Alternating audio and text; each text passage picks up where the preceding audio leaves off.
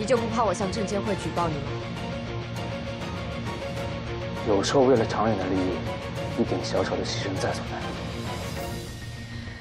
不是所有人都会用牺牲别人的方式来保全自己的，至少元帅在的时候就不会。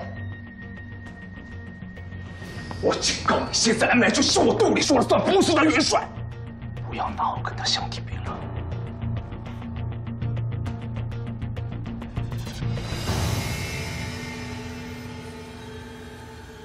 就算我不举报你，你早晚有一天也会自食恶果的。我希望你可以向总部坦诚。你所有违规的事，我有我自己的处理方式，不用你来教。更何况，你们俩现在也不好过吧？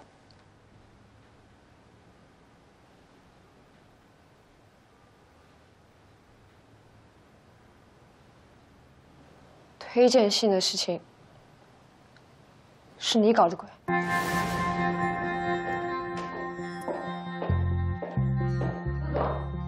找我什么事？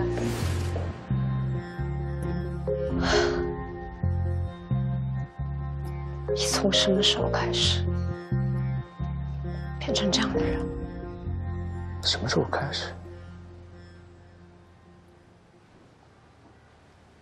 我从始至终都没有变过。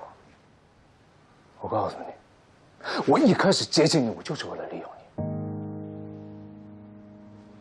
万山的事我骗你了，沈星的走也是我一手策划的，包括你爸。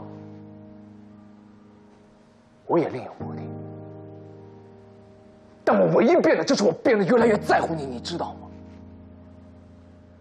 但是到头来呢？到头来我发现我在你心里的位置竟然变得越来越小，所以，所以你就想毁掉我，是吗？